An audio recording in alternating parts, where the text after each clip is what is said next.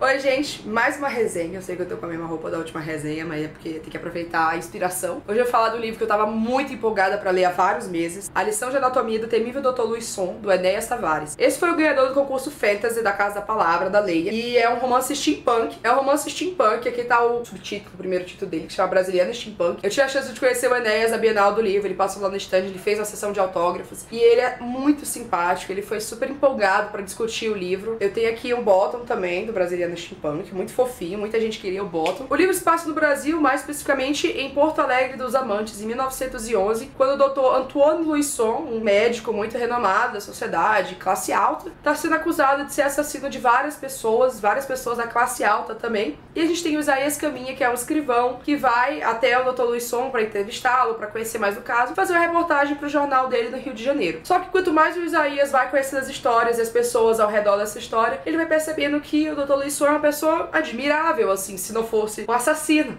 Ele começa a ter meio que um conflito interno. Qual a opinião dele a respeito disso tudo? Porque, por um lado, o cara é genial e inteligente e refinado e sabe muito das coisas e parece muito íntegro, só que ele também é um assassino de várias pessoas de uma forma muito brutal. Ah, deixa eu mostrar que tá autografado fofinho, autografou pra mim. A gente tem logo no começo um mapa de Porto Alegre dos Amantes, explicando todos os locais essenciais pra história. A gente tem uma nota sobre a grafia, ele usou a grafia de 1911, então no caso aqui grafia é com PH e algumas palavras com acento e com PH. Outra coisa super interessante, aqui no, no início a gente tem os personagens da literatura brasileira, a gente tem a Pombinha do Curtiço, a Rita Baiana do Curtiço, tem personagens do Machado de Assis, se eu não me engano é o Bacamarte, que é alienista. Tem vários personagens adaptados para esse romance. Todos esses personagens são muito interessantes. Alguns deles eu já conhecia das histórias que eu tinha lido da literatura brasileira, outros não conhecia, mas agora eu quero muito ler para fazer essa comparação. É, gente, na boa, eu tenho muito orgulho de falar que esse livro é genial. Os enrolados dos eventos é muito bom, a gente fica muito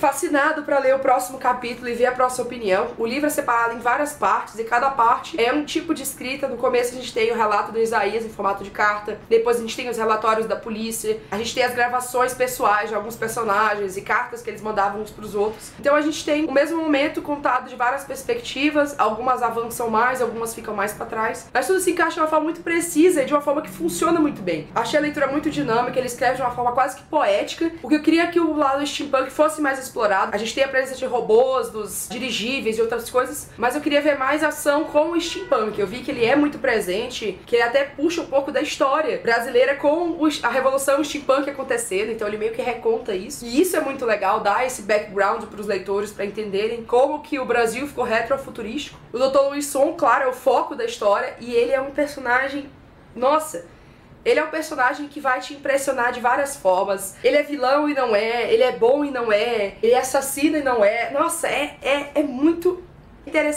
nossa, é muito interessante. É muito legal mesmo. Eu, infelizmente, só marquei duas citações minhas aqui dele, mas na verdade tinha várias outras que eu queria marcar. É porque eu ia lendo tanto e não queria perder o ritmo que eu acabei não marcando. Então eu vou ter que dar uma relida, vou ter que dar uma olhada para pegar umas citações legais. É uma história muito legal. Tem ação, tem romance, tem drama. E é muito bom ver brasileiros fazendo esse sucesso todo, escrevendo essas obras-primas, que tomara que sejam mais reconhecidas ainda. Fica aqui a minha recomendação, a lição de anatomia do temível Dr. Luiz Som, do Enéas Tavares. Agora o, o Enéas tem um Twitter também, eu vou deixar o link do Twitter dele aqui embaixo, quem quiser falar com ele. Ele é super simpático e super aberto para falar com qualquer pessoa sobre o livro. Vou deixar os links de compra também aqui embaixo para quem ficou interessado no livro, é, do e-book também, da Amazon, se alguém quiser. E é isso aí. Muito feliz de finalmente estar fazendo a resenha dele, porque merece. E eu espero que vocês gostem também da leitura, tanto que eu gostei. Vou ficar por aqui, se inscreva no canal, deixe um comentário se vocês já leram ou querem ler. Se vocês tiverem alguma recomendação de livros de steampunk também, por favor, deixe aqui embaixo, porque eu gostei muito do tema. Quero ler mais sobre o assunto. E apertem no joinha aqui embaixo para ajudar. E é isso aí. Um beijo pra vocês. Tchau.